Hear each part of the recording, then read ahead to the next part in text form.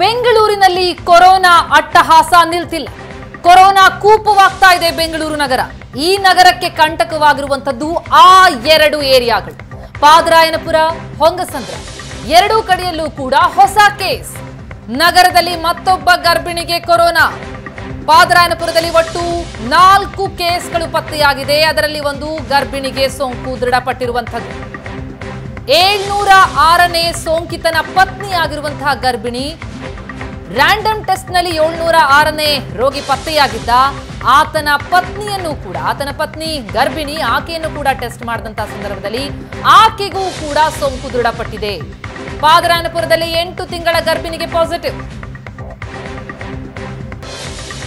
S ವಿಚಾರವಾಗಿ ಇನ್ನಷ್ಟು details ಪಡೆಯೋಣ. ಪಾದರಾನ್ಪುರದ ವಿಚಾರವಾಗಿ ಇನ್ನಷ್ಟು ಮಾಹಿತಿಯನ್ನು ನೀಡ್ತಾರೆ. ನಮ್ಮ ಪ್ರತಿನಿಧಿ ರಾಜಪ್ಪ ಈಗ ನಮ್ಮ ಜೊತೆ ನೇರ ಸಂಪರ್ಕದಲ್ಲಿದ್ದಾರೆ. ರಾಜಪ್ಪ, ಆರಂಭದಿಂದಲೂ ಕೂಡ ಬೆಂಗಳೂರಿಗೆ ಕಾಡ್ತಾ ಇರುವಂತದ್ದು ಪಾದರಾಯನಪುರ.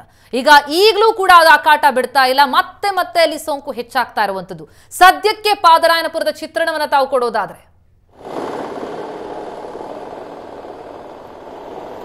ಪ್ರತಿಮಾ ಅಂದ್ರೆ ಈ ಒಂದು ಕೊರೋನಾ ಮಹಾಮಾರಿ ಕರ್ನಾಟಕ ಜೊತೆಗೆ ಬೆಂಗಳೂರಿಗೆ ಒಕ್ಕರಿಸಿಕೊಂಡ ನಂತರದಲ್ಲಿ ಹೆಚ್ಚು ಸುದ್ದಿ ಆಗ್ತಿರೋದು ಅಂದ್ರೆ ಅದು ಪಾದರಾಯನಪುರ.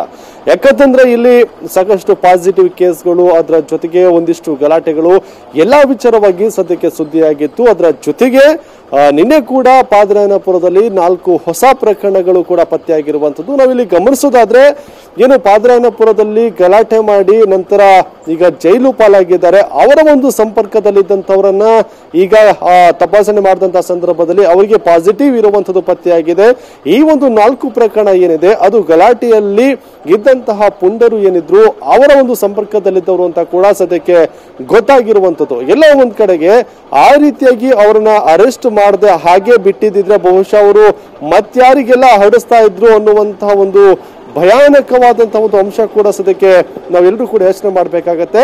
ಆದರೆ ನಿನ್ನೆ ಪಾದ್ರಾಯನಪುರದಲ್ಲಿ ನಾಲ್ಕು ಪ್ರಕರಣಗಳು ಪತ್ತೆಯಾದ ನಂತರದಲ್ಲಿ ಅದರ ಭೀಕರತೆ ಎಷ್ಟು ಇರಬಹುದು ಮುಂದೆ ಏನೇನೆಲ್ಲ ಅನಾಹುತ ಆಗ್ಬೋದು ಅನ್ನೋದನ್ನ ಮನಗಂಡಂತ ಪೊಲೀಸ್ ಇಲಾಖೆ ಇನ್ನಷ್ಟು ಟೈಟ್ ಸೆಕ್ಯೂರಿಟಿಯನ್ನು ಸದ್ಯಕ್ಕೆ ಮಾಡಿರುವಂತದ್ದು. ಪ್ರಮುಖವಾಗಿ ಈ ಒಂದು ಪಾದರಾಯನಪುರದ ಹನ್ನೊಂದನೇ ಕ್ರಾಸ್ ಏನಿದೆ, ಈ ಹನ್ನೊಂದನೇ ಕ್ರಾಸ್ನ ಒಳ ಹೋದಂತ ಸಂದರ್ಭದಲ್ಲಿ ಈ ಕಡೆ ತುಂಬಾನೇ ಒಂದು ಅಡ್ಡ ರಸ್ತೆಗಳಿದ್ದಾವೆ ಈ ಒಂದು ಭಾಗದಲ್ಲಿ ಹೆಚ್ಚಿನ ಒಂದು ಪ್ರಕರಣಗಳು ಕಂಡು ಬಂದಂಥದ್ದು ಅಂದ್ರೆ ಪಾದರಾಯನಪುರದಲ್ಲೇ ಹೆಚ್ಚು ಪ್ರಕರಣ ಇದ್ರೆ, ಈ ಹನ್ನೊಂದನೇ ಕ್ರಾಸ್ ಏನಿದೆ, ಈ ಒಂದು ಭಾಗದಲ್ಲಿ ಹೆಚ್ಚು ಪ್ರಕರಣ ಇತ್ತು. ಆ ಒಂದು ಹಿನ್ನೆಲೆಯಲ್ಲಿ ಇವತ್ತು ಪ್ರಮುಖವಾಗಿ ನೋಡೋದಾದ್ರೆ, ಪೊಲೀಸರು ಬ್ಯಾರಿಕೇಡ್ ಅನ್ನು ಹಾಕೊಂಡಿದ್ದಾರೆ.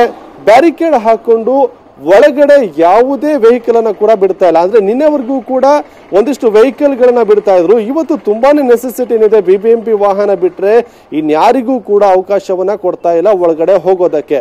ನಾವು ಕೂಡ ಗಮನಿಸಬಹುದು ಇಲ್ಲಿ ಬ್ಯಾರಿಕೇಡ್ ಅನ್ನ ಹಾಕೊಂಡಿದ್ದಾರೆ ಪೊಲೀಸರು. ಬ್ಯಾರಿಕೇಡ್ ಅನ್ನ ಹಾಕೊಂಡು ಯಾರೇ ಇಲ್ಲಿಂದ ಹೋಗೋದ ಪ್ರಯತ್ನ ಮಾಡಿದ್ರು ಕೂಡ ಅವರನ್ನ ಮತ್ತೆ ವಾಪಸ್ ಕಳಿಸ್ತಾ ಇದ್ದಾರೆ. ಒಳಗಿನಿಂದ. ಹೊರಬರುವವರನ್ನ ಮತ್ತೆ ವಾಪಸ್ ಕಳಿಸುವಂತ ಕೆಲಸವನ್ನು ಕೂಡ ಸದ್ಯಕ್ಕೆ ಪೊಲೀಸ್ ಮಾಡ್ಕೊಂಡಿರುವಂತದ್ದು. ಪ್ರಮುಖವಾಗಿ ಪಾದ್ರಾಯನಪುರದಲ್ಲಿ ಮತ್ತಷ್ಟು ಸೋಂಕು ಹರಡ, ಹರಡೋದನ್ನ ತಡೆಯೋದಕ್ಕೆ ಪೊಲೀಸ್ ಇಲಾಖೆ ಹಗಲು ರಾತ್ರಿ ಶ್ರಮಿಸ್ತಾ ಇದೆ Pratima. Thank you thank you Rajappa, ತಮ್ಮೆಲ್ಲ ಮಾಹಿತಿಗೆ.